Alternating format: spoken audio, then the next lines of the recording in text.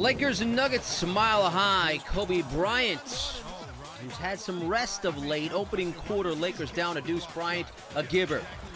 Finding Ronnie Price on the finish. Kobe had 11 assists on this night. Later in the first, Bryant spin move fading away at the free throw line, and it goes.